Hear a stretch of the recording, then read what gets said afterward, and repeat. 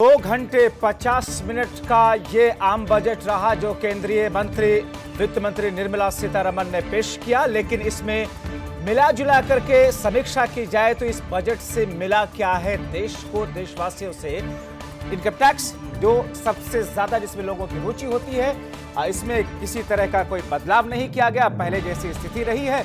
और सिर्फ़ और सिर्फ़ 75 पार के लोग, यानी कि 75 साल से ज़्यादा उम्र के लोग, जो लोग हैं उनको कुछ राहत दी गई है और सिर्फ़ वो राहत इस बात को लेकर के है कि अब वो लोग इनकम टैक्स में उनके ऊपर आईटीआर भरना रिटर्न भरना ज़रूरी नहीं होगा।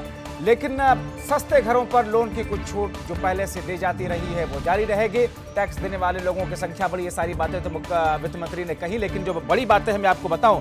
दरअसल आज जो बड़ी बातें हुई जिसमें सबसे पहले अगर ज़िक्र करूँ कि मौजूदा वक्त में फ़िज़िकल डिफिसिट कितना है, यानी कि फ़िज़िकल डिफिसिट वित्तीय घाटा जिसे कहते हैं, जिसमें साढ़े नौ प्रतिशत के आसपास फ़िज़िकल डिफिसिट है, साढ़े छह फ़ीसदी के आसपास, छह दशमलव आठ फ़ीसदी तक लाना लक्ष्य रखा गया है। 2022 में जैसा कि 75 साल से अधिक उम्र के लोगों को टैक्स में एक छूट दी गई, बस यही एकमात्र छूट डायरेक्ट टैक्स वालों को कहीं ना कहीं इसमें दी गई है। लेकिन कारोबारियों के लिए डिजिटल लेन देन की सीमा कुछ बढ़ा दी गई। विस्तार से आपको बताएँगे, छोटा सा ब्रेक लेते हैं।